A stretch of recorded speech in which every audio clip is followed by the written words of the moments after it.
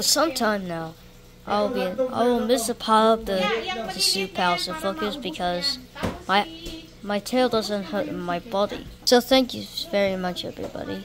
Everybody, this is my good friend Red Bird. Hi, everyone. Now, in the meantime, Redbird did, did a great job for doing the soup house. So, so Red Bird, thanks for doing that. It's been a pleasure.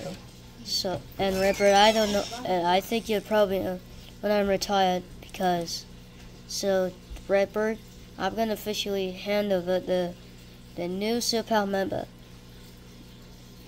um, Redbird. Thanks, Blizzard.